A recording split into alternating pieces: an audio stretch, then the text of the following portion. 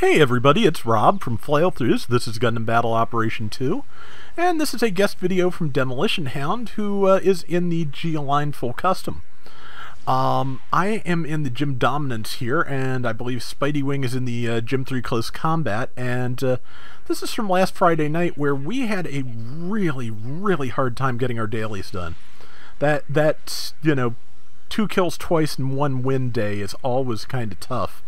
But Friday night, I don't know if people were just like inspired to play the game by the upcoming uh, tournament thing in Japan or what, but just it was it was a struggle. We we got the first set of uh, we got we got our all of our dailies done at like 2 a.m., 3 a.m., something like that. It was ridiculous. But uh, G-Line Full Custom, this is one of the rounds where we finally got them done, incidentally. Um, G-Line Full Custom is really quite a good support it has pretty much everything. It has the Federation shotgun, which is not as uh, not as overpowering as the Zeon shotgun, but sure can pile on damage. And uh, yeah, and it has uh, shoulder beam cannons like those of the GM Cannon 2, and it has a couple of mini twin beam scythes which, uh, for its melee weapons stored in the knees. So yeah, it's got, like I said, it's got everything. And uh, it can actually uh, do pretty well up close in melee. So you know whatever you're uh, whatever you're looking to do with the support, this can do it. So um, this is the uh, this is the uh, I forget what the official name is. It's the Jaburo map, it, like underground fortress, something like that. Either way, or underground base. I don't remember, but uh, regardless, yeah, it's Jaburo, and uh, I decided to take out the GM Dominance because I wanted to try out Maelstrom's uh, uh, just repeated neutral melee trick with the GM Dominance, which I have uh, I do fairly well with in here, though I do kind of get in other people's ways at times. But uh, yeah, and that's you know, there's always it, you know, you always end up crossing in front of the support when they're about to fire. Somebody somebody will do it. Usually it's me. It was Spidey's turn this time. Good beam shot there. And uh, let's see. Yeah, so this round is starting out rough, but I, as I recall, it does get uh, better. But, oh, good catch on that Red Rider before it could do any really significant damage. And backing away quickly while uh, looking for other targets while, ah, while, uh, you know, avoiding the Red Rider, hopefully. Uh, I don't know if this will be true as of when you see this video, but as of when it's being recorded, uh, there is up on uh, uh, Premium Bandai a reissue of the high-grade Red Rider model kit they put out a while back. So if you're looking for that, there is another shot. There's a couple other interesting things too, who, uh, whose you know exact uh, identities escape my tired, silly brain at the moment. Oh yeah, they have the variant of the Woundwort with the like Psychommu hood ornament on its head. So I just put together the standard Woundwort finally, but I'm kind of tempted. But uh, yeah, um, it is uh, decent stuff. I I kind of wish I'd uh, kind of like to see some more like limited edition G-frame stuff up there because I'm not sure if they've done that for the U.S. yet. I haven't seen it, but that doesn't mean it didn't happen. But yeah, like G-frame is my thing right now. I I am enjoying the Gunpla as well, and I've you know gotten some stuff lately. But yeah, G-frame is like uh, where you know G-frame is such a great little action figure line.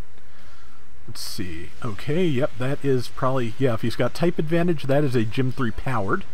Like I said, those those and uh, Jesta's very uh, popular in the general slot on Friday, both in the tournament and in general. Um, yeah, Red Rider's relatively popular uh, as a raid as well. Um, it was odd, you know, in the tournament. Most of the time, if you saw a support, it would be a Hildolfr. And, like, nine times out of ten, the team with the Hildolfr didn't do as well as the other team, it seemed like. You know, correct me if I'm wrong, because the tournament is still up there. But, yeah, just, uh, then there was a round where both teams had them, and, uh, so, you know, can't really call judge anything from that, but that's another one I never got in practice with. One day I would not mind giving it a go. And there I am in the GM Dominance over there on the right, trying uh, trying to stab things. good downswing, but uh, I, you know, I kind of feel like he uh, might have pulled back a second to avoid hitting Spidey, which, you know, sometimes, yeah, you have that you have that perfect shot and you pull back to avoid hitting hitting teammates. It just it just happens. Um, I am alive, but just just barely. Demo is stunning things around me, which I am grateful for. And there is the Red Rider, which unfortunately we have uh, functionally left him alone with. Luckily, it's almost dead. If he can get his shotgun and or his Vulcans going again, there's like three things down there ready to die. Looks like number six got one of them. Uh, that, okay, Vincent, Vincent Gleisner, Pale Rider, that was less seen in that tournament, but also, you know, fairly common. I want to get more practice with it so I can land some of the downswings that, uh, I saw. People were using it to hit things like just off screen to their left, and that could be really, uh, really handy and really difficult to counter. So I, I see why they're doing it, and I definitely want to practice that move.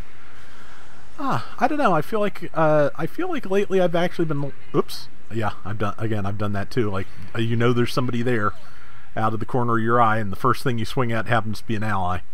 Um, but yeah, I, I feel like I've been picking a few new, uh, new things up lately. feel like I've actually, you know, improved a little bit at the game just from actually, you know, watching other people for a change. Because, you know, I I watch friends' videos when they submit them to me. I wish I had time to watch more videos my, my friends put up, but ah, man, some days I've, i barely have time to, uh, you know, watch my own enough to uh, pick out which ones I want to use. So that's just kind of ah, kind of, uh, kind of still stressed out and uh, and working on stuff lately, but uh, you know, just just bleh, just bleh, just uh, me, you know, not being able to uh, manage my time as well as I I could, but you know.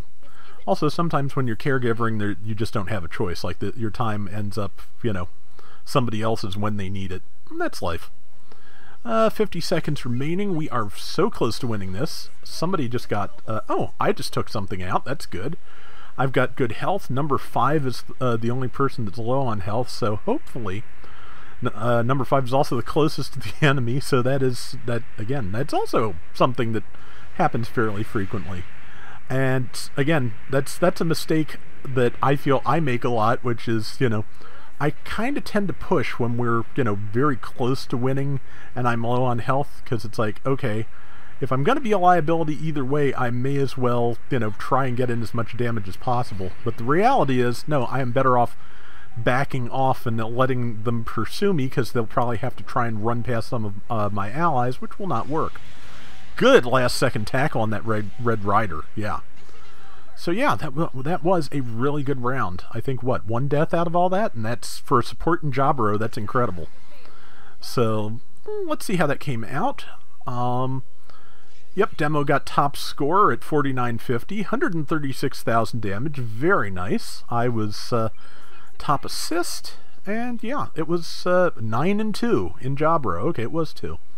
Don't know how I forgot one. Yes, I do. I have a horrible memory. But yeah, that was a great round, and I appreciate you sending it my way, demo, because, uh, yeah, that was fun. And that is going to do it for today's Gundam Battle Operation 2. We'll be back soon with more. Till next time, everybody take care and have fun. Later!